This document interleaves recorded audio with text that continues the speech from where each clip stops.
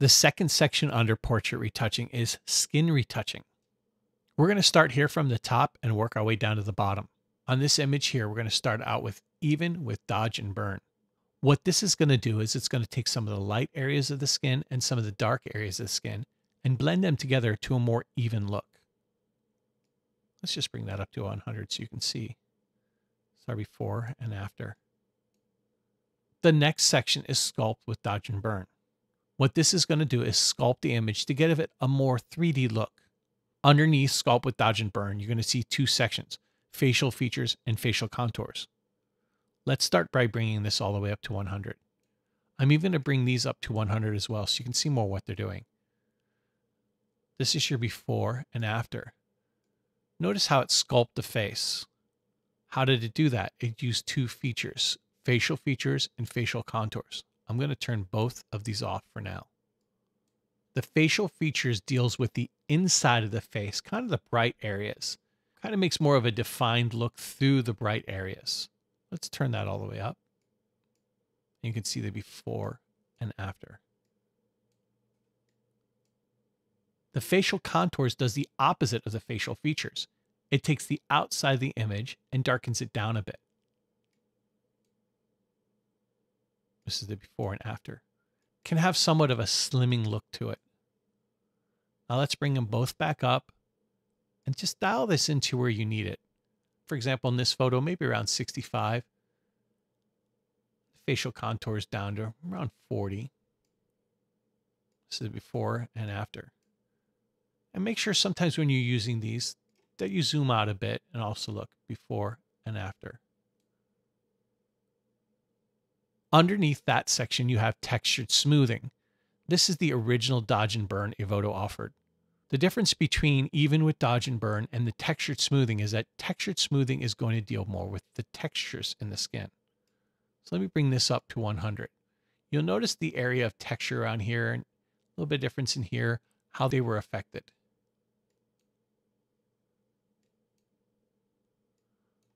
With the new one, it's just the light and dark areas. Notice how this little smile line here and this little smile line here still there. Affected a little bit, not as much as when you do textured.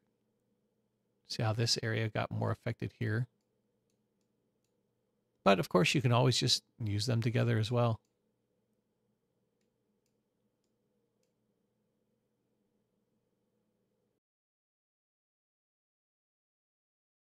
The next area we have are the skin softening areas.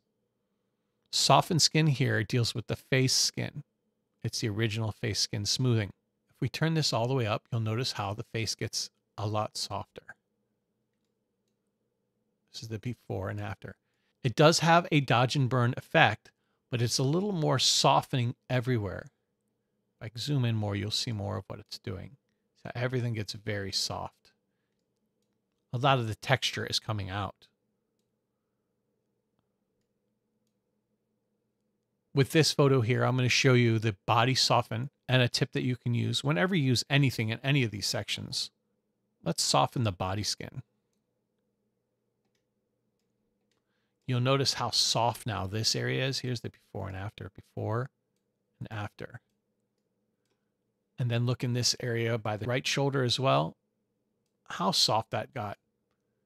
Now, in this case, I don't like how this area got softened. I do like the softening on the left side, not on the right side of the image. With every section, you have a masking tuning tool.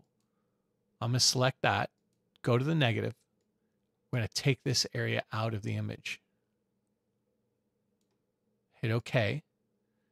Now look at the before and after. You'll see that this area is still affected and this area is no longer affected.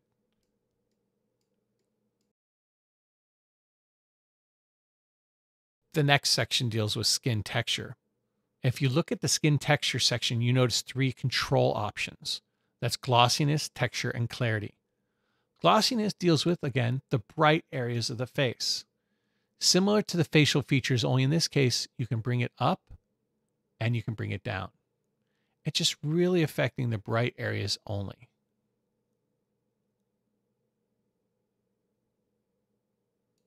So if you want her to look a little more glossy, you bring it to the right, but you can also reduce that glossiness by going to the left. So for example, here's the before and after, reducing the glossiness. Here's the before and after, raising up the glossiness. Underneath glossiness, you have texture. Texture deals with the small areas of the skin. So if I bring that up, you'll notice that some of the detail in the small areas of the skin came out. And you can also reduce that a softening effect.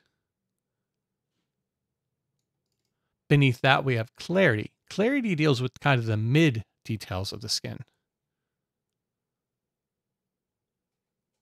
You also notice that it tends to make things look a little bit more in focus. So you can use that as a sharpening tool as well. You can use them both together and get a really sharpened image. So these sections here right below skin texture are just presets of these three controls.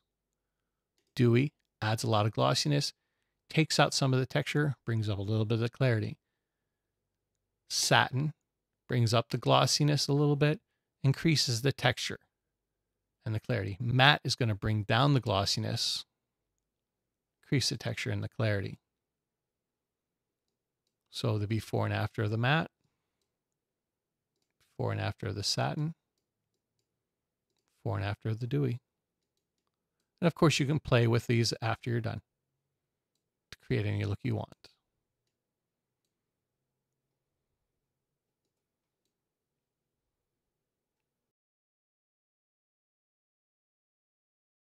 Next, we have the skin tone function. We're going to start with AI Unify Face Complexion. I'm going to hover over the question mark so you can see what it says. This function can address issues in the original image such as uneven facial skin tone, redness, facial blemishes, and dark eye bags. Ultimately, it's going to analyze the face and blend everything into a more even look. Let's bring this up.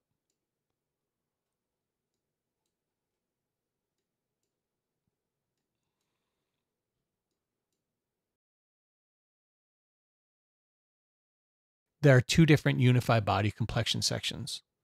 The first one, AI Unify Body Complexion, is going to take the body skin and try to match all this to unify with the face. Watch as I turn it up, how it becomes more unified with the face. the before and after. It also works to brighten up the skin a little bit if that's what you need.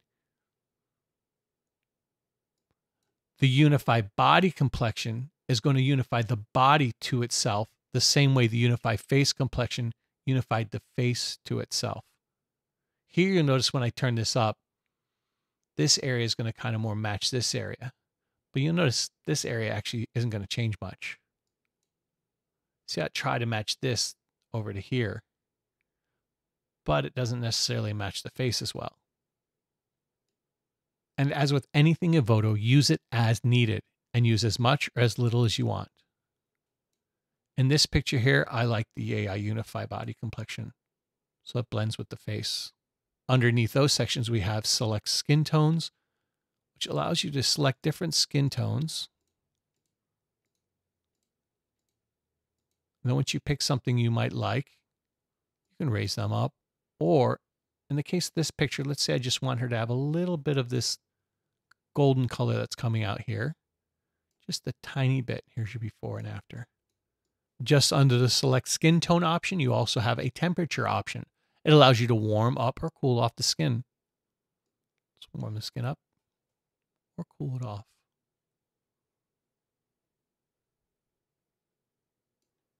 In a picture like this, I might actually cool the skin down a little bit before and after.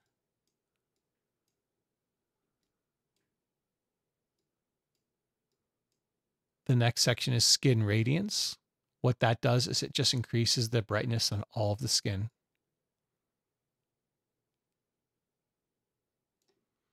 Rosy complexion actually changes the skin tone and adds a bit of a rosy color. I'm going to go all the way up so you can see what it does.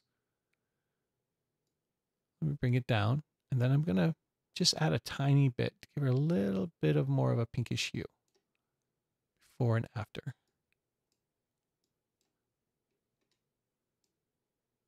This is your before, this is your after.